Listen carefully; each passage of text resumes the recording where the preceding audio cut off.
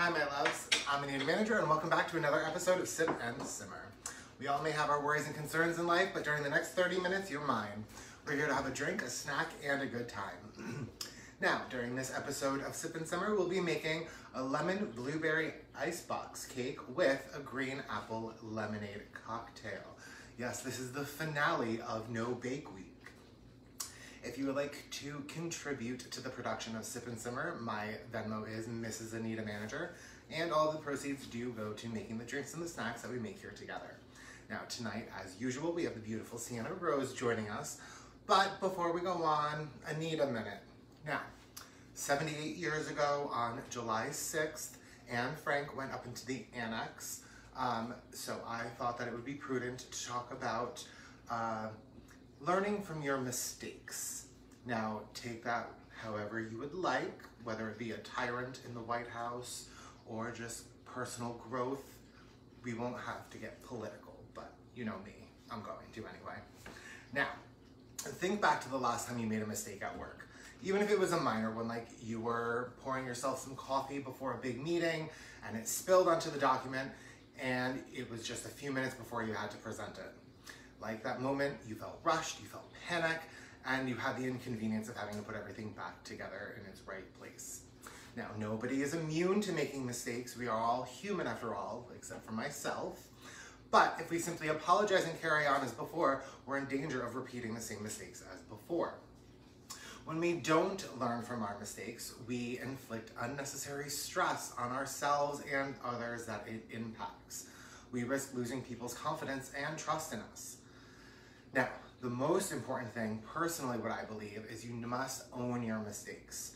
You can't learn from a mistake until you've admitted that you've made one. So take a deep breath, admit your mistakes, and then take ownership of it. Inform everybody that it may have uh, affected, apologize, and tell them that you're working on a solution. Now, the best way to refrain from making the error is how you view your mistakes determines the way that you react to them and what to do next. Chances are you'll view your error as a purely negative light as long as the initial shock and discomfort is still settling with you. But if you can reframe your mistake into an opportunity to learn, it'll motivate you uh, to become more knowledgeable and resilient and it's the only way that you can move on from that mistake is not having that initial hard feeling that you have about making that mistake. And once you've acknowledged it, you can now think about what you're going to do to keep it from happening again. Um, you need to really analyze that mistake and really think about what caused you to get to that mistake. What was I trying to do? What went wrong? When did it go wrong? And why did it go wrong? Now, the most important thing is putting these, I keep on saying the most important thing, the most important thing about that part is now putting what that mistake taught you into practice. Now, the danger at this stage is that work pressure forces you back into a routine and your habitual out behaviors. Now, learning your lesson is one thing, but putting it into practice is a completely different thing.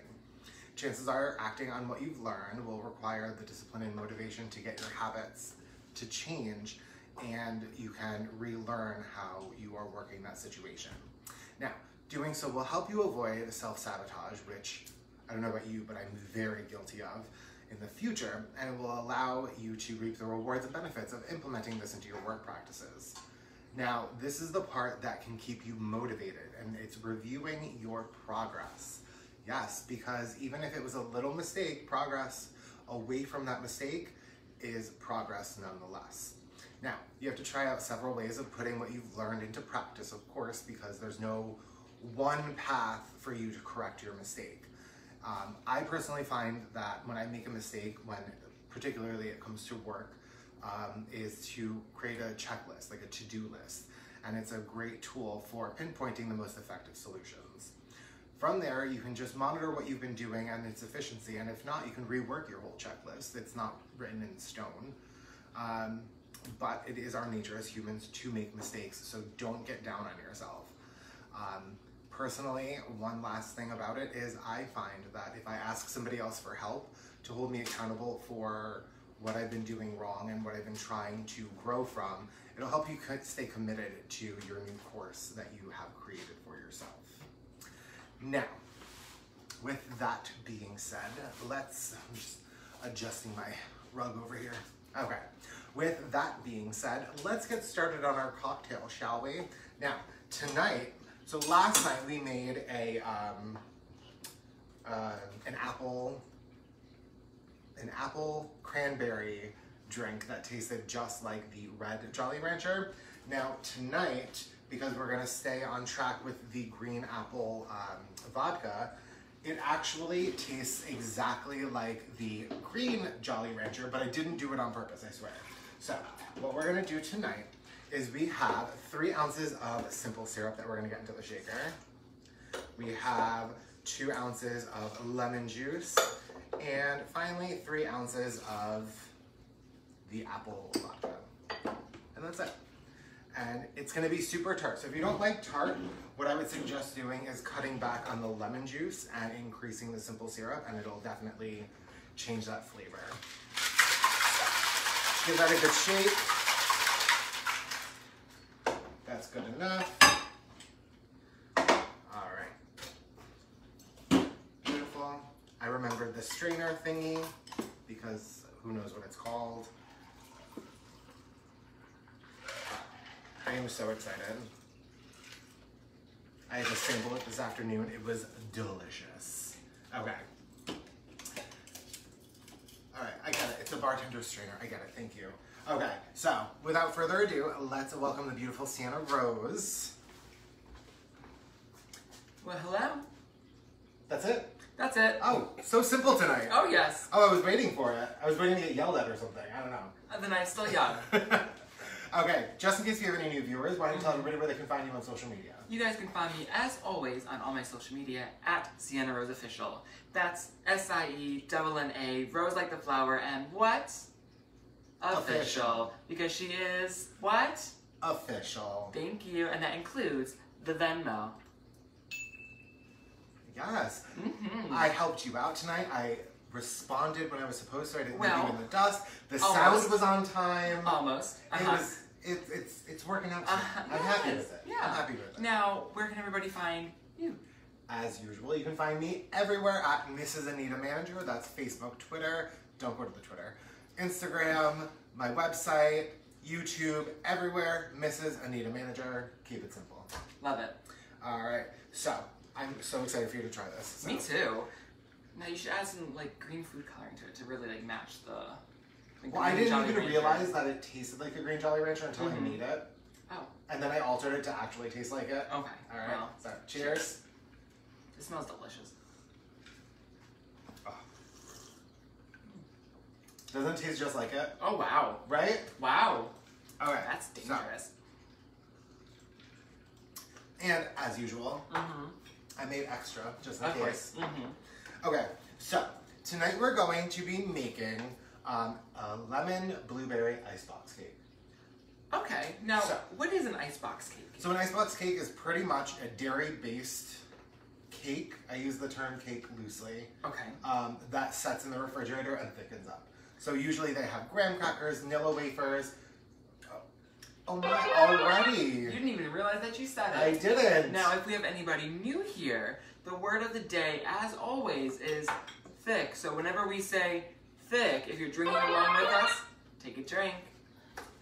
So the the best part about an icebox cake is that you can make it the day before, two days before, Uh huh. and it just gets better. Ooh, I love that. There's no baking involved. Mm-hmm. This one specifically, we do have a little bit of cooking involved, But no baking. but no baking. So we delivered on a promise of no bake week. Right. But also, if you wanted to cheat, you could also buy in the baking aisle. They have those cans of like already made like pie fillings. Pie fillings. There's blueberry, there's okay. apple, there's strawberry, raspberry. It comes in a can with a yellow label, and it's literally everything that goes into a pie in a can. Is it like the preservatives? Is that it's, what it's, it's called? kind of like a preservative, Okay. but it doesn't have um, the the I think gelatin or something in it. It doesn't Okay. have something in it. So it's it's basically a pie filling. So we're gonna be making a very basic pie filling Okay, to put into the icebox cake. got it. All right? Mm-hmm. So what you need for this is you need a dish that can go in the refrigerator. Okay. Um, and that's, I mean, That's It is so simple. Wow. All right, so why don't we start with the berry sauce? Okay. All right, so that's gonna be on you. Me? Okay. Yes. That means So what you're gonna need is you're gonna need a frying pan. You're gonna need two teaspoons of cornstarch. You're I only got two hands. uh, I'm just I'm just going on. I know, but I like to show it as you say. Okay. All right, Cornstarch. you got two teaspoons of cornstarch. You got. Mhm. I'm going to give you this fresh squeezed lemon juice. Okay. Um, you're gonna need a tablespoon of water. You need two tablespoons of sugar and a teaspoon of lemon zest. So while you are getting this together, I will zest the lemon for you. Okay. So the most important thing when you're cooking, baking, or doing anything with cornstarch is you want to dissolve it first. Right. We did this yesterday. So what you're going to do is you're going to take your two teaspoons of cornstarch and you're going to dissolve it into your one tablespoon of water. Now, if we learned from yesterday, we're just gonna. It's fine. You said that yesterday as well. All right. So Okay. cornstarch is hydrophobic, What'd you call me? which just means that it's hard to dissolve into the water or oh. any liquid for that matter. So what you want to do is you always want to dissolve it first, so that way you don't get clumps. The whole point of having cornstarch in it is it for is for it to thicken. Oh, okay. Okay. So I think that's good. yeah, that's perfect. Great. Let me just make sure that. Mhm. So it's super important for you to get all of the cornstarch in there, so that way you have the right consistency. Because once you put it into the icebox cake or into the the cream base of the icebox cake, um, if it's not thick enough, Uh huh. what's gonna happen is it's gonna make it dilute and it's gonna be runny. Ooh, and the whole point is want that you can cut into it and serve it Like a cake. like a cake. Right. Um, again, you want to make this a day or two beforehand and just let Mm-hmm. it sit in the fridge. Okay. All right. So if you would turn on your pan, so um, what we're going to do first is we're going to heat up the blueberries so they begin to pop. Now, when you say pop, so when you heat up blueberries, they actually like not like Oh, explode. They Okay. just they just burst open. okay. All right. Mm-hmm. So you want to throw the blueberries into the pot. Okay. You don't need anything in the pan first, right? No, No. butter, no nothing. Just Nope. Straight blueberries into the pan. And because this is fresh lemon juice, I'm getting the seeds out. Ooh. All right, so give that a pour right on top just to create Right some, over it? Yep. All right. So what that's going to do is that's going to create some moisture in the pan and um, allow it to steam a little bit Mhm. and allow those blueberries to start opening up. So you're going to do that on a medium heat. Okay. All right, give that a toss. Perfect. And since I spoke about the beautiful Anne Frank earlier, and I Uh-huh. said that it was 78 years since she went with her family into the annex, Mhm. I thought that it would be fun to have our executive producer, Nick, come Mm-hmm. up with questions about Anne Frank. Okay. So I'm trying to keep it fresh, keep it different. Love it. know, Now, I read her diary in the fifth grade. it's been quite a few years since then, so we're gonna see how this goes. Okay, so I'm just gonna grab this stem off the blueberry. Okay. And would you mind, I'll just take the whole thing out. Would you mind just giving it a quick stir with the rubber spatula and I'll ask you your first question. Okay. Okay, so Anne was just a nickname. What was her full name? Oh. Was it Annalise Marie Frank, Okay. Antoinette Marie Frank, I'm sensing a pattern. Anna Maria Frank, Okay. or Anne Mary Frank? All right. Um. So don't forget, so this was like 1942. Right. So if that helps you with the name. I mean, th- those are all kind of like old timey names. Annalise, Antoinette. It's my mom's real name. Mm-hmm. Fun fact. Just I don't know. Does anybody in the chat room know what her real name was? I feel I definitely am gonna go with something Marie Frank. Okay. Because that seems to be most of the answers. Okay. So I think I'm gonna get rid of Mary. Just get rid of Mary. All right, bye, Mary. Mm-hmm. All right, before we go on, so once your blueberries start to explode, you're gonna start to get like a purple, like film on the pot. That's Uh-huh. when you're gonna throw your sugar in. So what that's gonna do is it's gonna start to absorb those flavors, but it's gonna slow down the cooking. So if you want to just sprinkle the sugar over the top. Right over top. Yep. Okay. Perfect. The whole thing? Yep, the whole thing. Like this is such an easy recipe. This is how I make my jam. This is how I make my preserves. the difference between jam and preserves is one you run through a sieve. Mm-hmm. Um, so that way you get out all the seeds and all the skins and everything. But preserves are literally just the berries broken down with a little bit of lemon juice and sugar. So Oh. yeah, it's The more you know. it's very simple, and I do it all the time. I'm really excited to do it this summer with all of our tomatoes. Mmm. Right? Yes. Okay, so Anne was just her nickname. What was Anne Frank's full name? Was it Annalise Marie Frank? Mm-hmm. Was it Antoinette Marie Frank? Maybe. Was it Anna Anna Marie Frank? Mm-hmm. But she's already said goodbye to Anne Mary Frank. Bye, Right. Mary. Okay. No Marys. Well, Maybe. We'll see. Now, do we have anybody answering in the comment section? Comment below what you think the answer is to help me out so I don't seem completely stupid. so I will give you guys a hint. Okay. They do say it in the introduction to the book. Fifth grade. Many years ago. I actually read it like three years ago, I think, when we were Okay. living in Seattle. I don't know what provoked me to read it, but I reread it. Mm-hmm. Okay, I mean, it's great literature. so do you want to give us an answer? Sure. Uh, let's go with. I don't know why I'm drawn to Antoinette, but I also really think it could be. I'm gonna go with Antoinette uh, Marie Frank. Of course, it's wrong. Of course. Okay, wait, let me guess, let me guess. I'm gonna go with, Mary. um, um, no, I'm gonna go with uh, Annalise Marie. Okay, Oh. yeah. Okay. Like I said, I just read the book a few years ago, so. I was almost close. Okay, so once we have let our sugar dissolve, Which what we're did. gonna do now is because the blueberries are exploding, they're releasing a lot of moisture. Mm-hmm. Um, so we're gonna take our cornstarch water mix and we're gonna pour that over top Okay. and give it a stir. And then once that's incorporated, Mm-hmm. we're just gonna let it sit. That's it? That's that's it. Oh wow. Okay. And that's the hard part of this recipe. Oh wow. Yeah. Love it. So um, just make sure that you scrape down the sides. A Mhm. lot of the flavor will bubble up to the top and then stick to the sides of your pan. Um, so just make sure that when you are cooking it, you're using a rubber spatula that is heat resistant. Right. And scrape down the sides of the pan and give it a little toss, just to really get all those really fresh blueberry flavors all in there. Okay, so why don't I start on the base of the cake and then you can jump in and throw some questions at me. Let's do it. Okay, so for the base of the cake, we have two cups of sugar. Mm-hmm. That's a big old lie. Yeah. This is not sugar. No, it's not. We have two cups of heavy cream. Mm-hmm. Okay, we have a quarter cup of confectionery sugar. There we go. There's actually no like granulated sugar in this at all. I didn't even know where I was going with that. Okay. Um, Mhm. Oh, actually, I I forgot.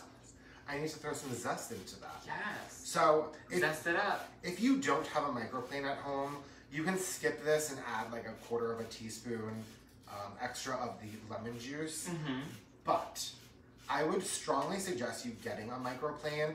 They are fantastic for not only zesting uh, citrus fruits, but this is what I grate my Parmesan cheese with. Mm-hmm. Um, this I grate chocolate with this. It Yeah. is such a great investment, and they're like It's very handy. they're like eight bucks, Right. and they're all dishwasher safe, so you don't even. Well, this one is. I don't. Like I'm the manufacturer of all Right.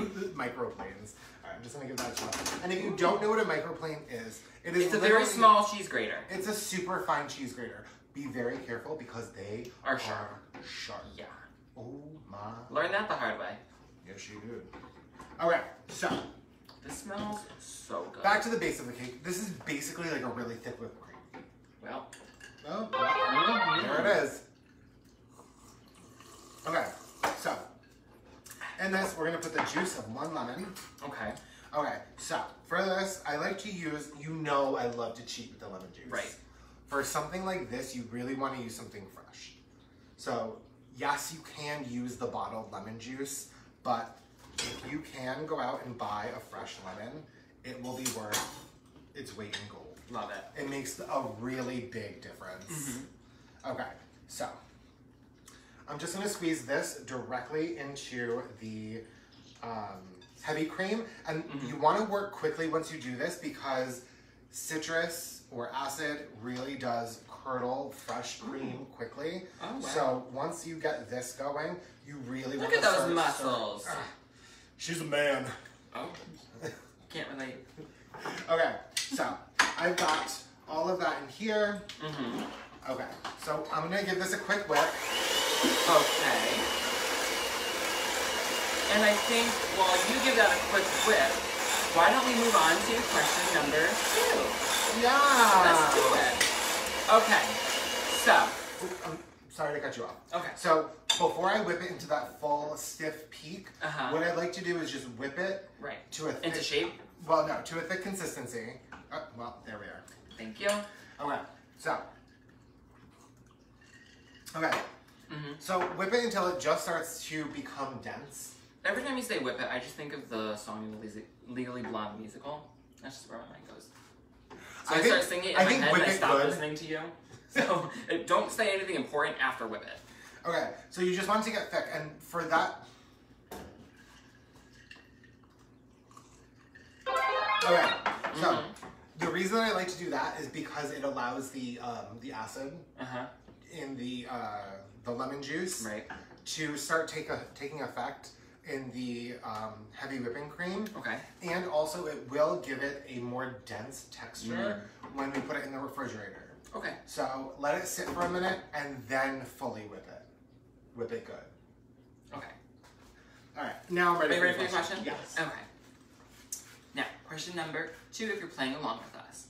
Where was the Frank family uh, originally from? Were they from A, Amsterdam, B, Germany, C, Austria, or D, Poland? Again, Well, now I'm embarrassed because I was like, I know the answer to this, Mhm. and my option in my head wasn't, or my answer in my head was not even an option. what was the option in your head? I thought it was Hungary. Well, that's around there. Yeah. Okay.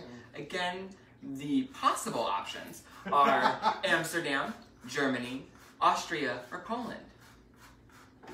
All right. If anybody out there can help me, because now I feel like a fool that I boasted about reading the book 3 years ago. Mhm. I remembered her name. Well, You know. okay, gal. Okay, so while you guys are coming up with your answers, I'm going to just finish zesting the second lemon, Mm-hmm. and I'm gonna get that in there. So now what I'm gonna do is now I'm gonna whip it up into the full stiff peak. Right. All right, so we have Jess saying see Austria. Okay. Jess is usually right. I can see that. Austria, I think, is by. Hungary. I'm not gonna pretend like I know where Austria is. I know it's in Europe. Right? Okay, so Max is Poland, and I know that she says it like 47 times in the beginning of the book, Okay. um, and now I feel like a fool. Well, act a fool, girl. Okay, so in case you guys missed it, my question from C- actually we can turn this off, and now that's just gonna sit. Okay, perfect. So once it starts to once your uh, berry sauce, and you can do this with literally any berry. Once it starts to we need a zoom collect, feature. This doesn't. Okay. what kind of what kind of production? This is on our iPhone. I know. Once your berry starts to collect and create like a um, almost like a like a gelatin kind of consistency, Okay. you're gonna turn it off. And I like to cheat. I scrape it into a clean bowl and pop it in the refrigerator. And when it comes out, it's gonna Oh, look yeah. like this. So Mhm. it's gonna be super super glossy, and it is going to be. Are you ready with the the sound effect? It is gonna be super thick. Ooh, that. Okay, so the reason for that is because this is not being baked. The most important thing is the consistency of everything, so that way it holds up after you take it out of the fridge. Right. All right. Mm-hmm. All right. Okay. So we have Ellen helping me out here. Okay. So where is the Anne Frank or where is Anne Frank's family Where's originally they from? Right. The options again are Amsterdam, Germany, Austria, and Poland. Okay. Ellen is saying Amsterdam. Does that help you at all? No, because now I have everybody saying a different answer. Okay, great. Anything you want to eliminate? I'm gonna eliminate Germany. Bye, Germany. It's been nice, but uh, you're gone.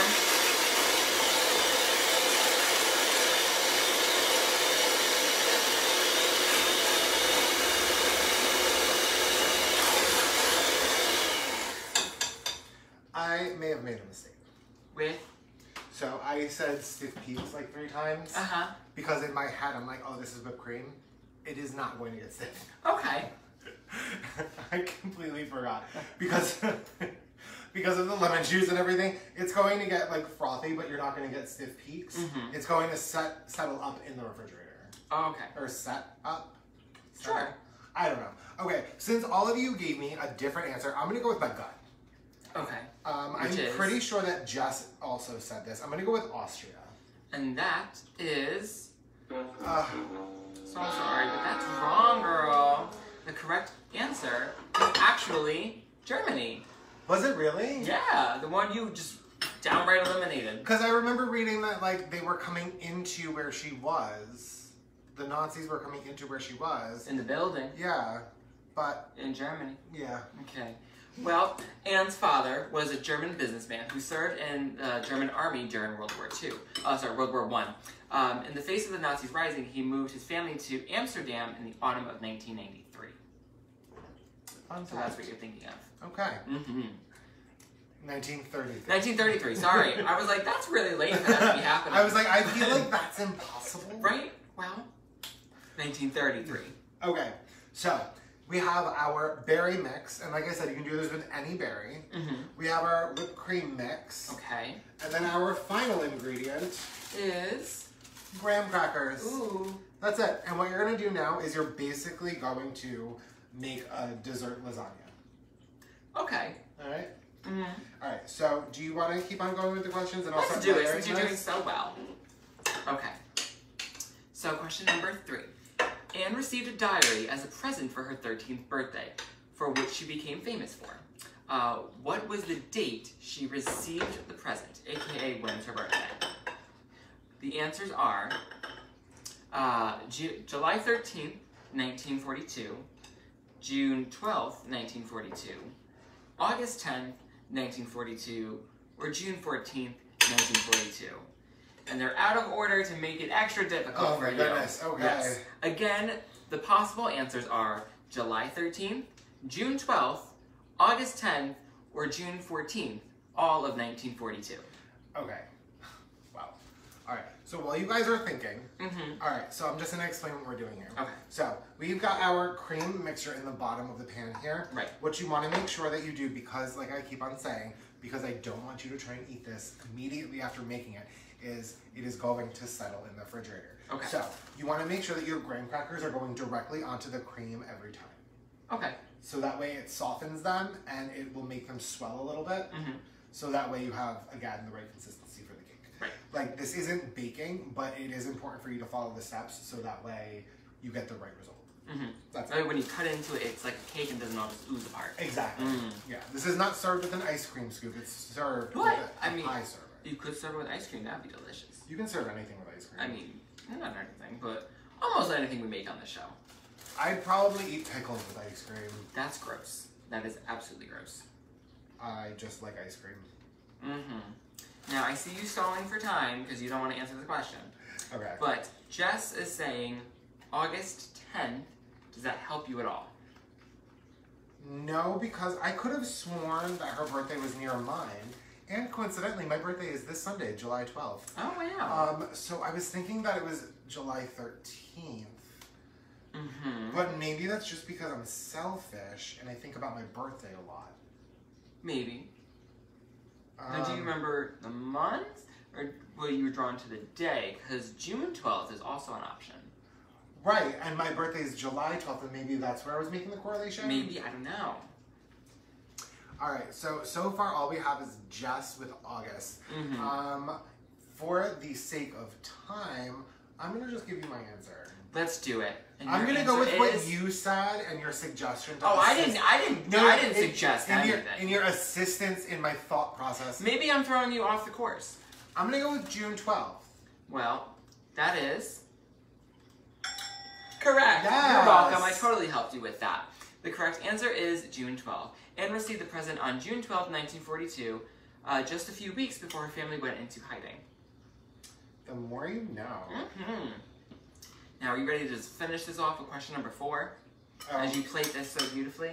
let me just give a quick Update. update on Okay. my, my progress. Oh. Okay, so I've got the cream on the bottom. I've got a layer of graham crackers on top of that. Mhm. I've got the entire mix of the uh, blueberry compote, The whole thing. the whole thing. You're just gonna do one layer of that. One layer. Right in the middle. Yep. Mm. And then I'm going to put the graham cracker layer on top of the blueberries, and then another layer of cream. Okay, so the graham crackers act as like a barrier between the cream and the blueberries. Yeah. It doesn't like mix. Sure. Okay, Sure. We'll go with that. Yeah, because I said it, so it's the thing. Okay, are you ready for your fourth question? I guess. Okay.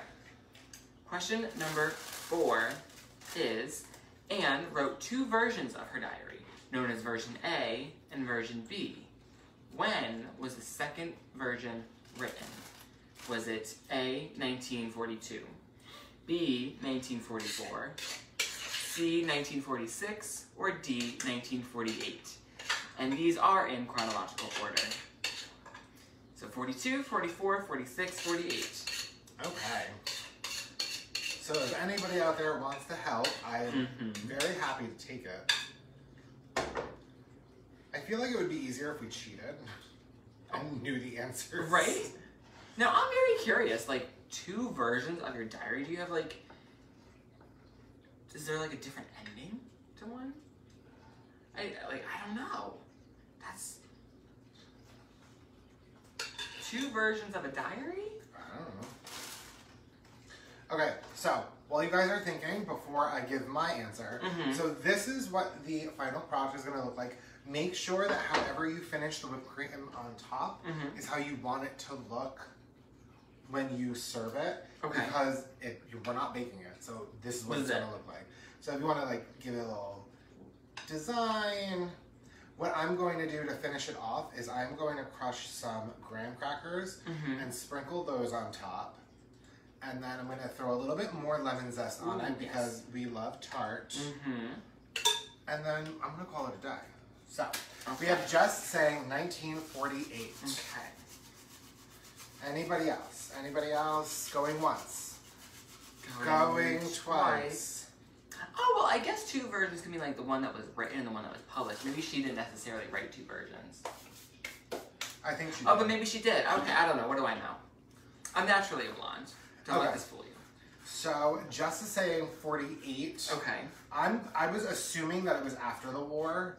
So I'm gonna agree with Jess. I'm gonna go with 48. Uh, that answer is Uh, unfortunately incorrect. The correct answer is 1944.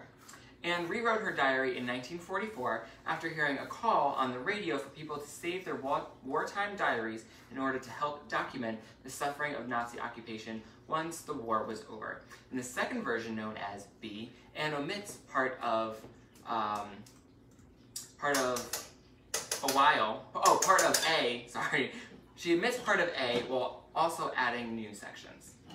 okay. Cool. I wonder which is the version that we read. I don't know. Hmm.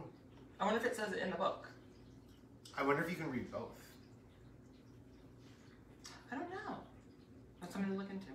Well, on this episode of Know Your History. All right. Maybe we should just change this to drunk history. Right? Okay, so this is our final product. What we're gonna do is you Oh, wanna that's put it in the refrigerator Mhm. for at least six hours. At least. At least. Okay. Do not try and eat it before that, because it will be a sloppy mess. Right. Okay, I almost said something not so nice. You're welcome. Oh. I refrained. Okay. Okay, so thank you guys again for watching Sip and Simmer with the beautiful Sienna Rose and myself. As always, these episodes will be put up onto our uh, YouTube page. Um, we will see you back here on Sunday for my birthday. That's right. So, Mm. all the episodes next week are going to be based on birthday snacks. Yes. All right, so thank you again for hanging out. Of course. Uh, again, you could follow her on all of her social media at Sienna Rose Official. You can follow me at Mrs. Anita Manager. And never forget, I'm Anita Manager and you guys are amazing. Love you. Good night, guys. Want to taste this? Okay. I mean, uh, gloss. All right, great. All right. Put this in the refrigerator now because I I want it.